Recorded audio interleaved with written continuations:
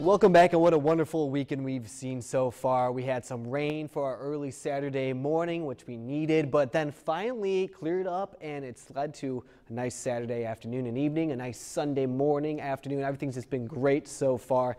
I just love these transition months where everything's kind of a little bit warmer, cooler at times. It's really great stuff for our September. Our current temperatures are in the lower 50s right now, still the 60s there for Casey, 57 in Vincennes, and 59 degrees in Linton. As you can tell, things are cooling off. After that cold front moved on through Saturday, now we are experiencing some chillier temperatures. We'll have those below average temperatures for the next couple of days and especially for the morning hours. A rain-free pattern setting up. Things are going to be on the drier side once again. That's kind of been the trend for really the last couple of months and then just cool overnight. And that's no different for tonight where we see temperatures dropping down to the mid 40s.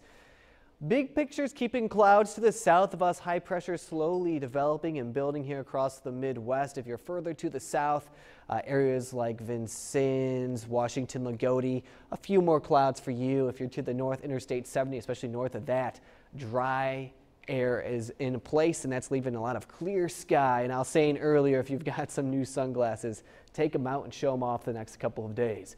Forecast lows in the mid 40s tonight, 45 degrees, 44 for Rockville, and the upper 40s for you folks off to the south. Waking up tomorrow morning right around that area. It'll be right around 50 degrees. Storm Team 10 meteorologist Linton Monroe will be in here to uh, get you prepared for your morning commute. By the time we get to lunchtime in the 4 o'clock hour, things are warming up back into the mid 70s by the time. We'll top off at 77 degrees for our daytime high tomorrow, 8 p.m., 65. Another dry day and also just a nice comfortable day as we go through our Monday.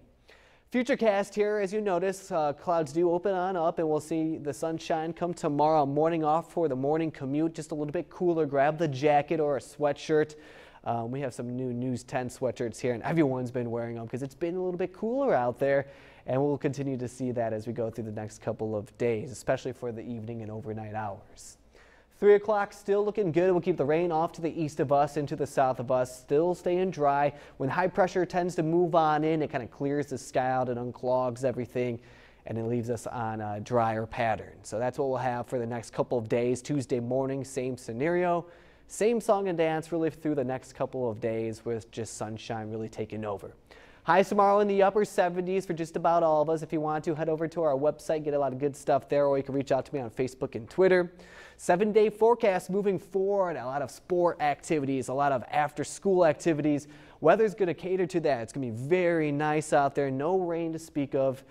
Uh, hopefully we could get some in there eventually, but nothing for the next seven days. Melissa looks like we'll be dry, sunny, and feeling like fall.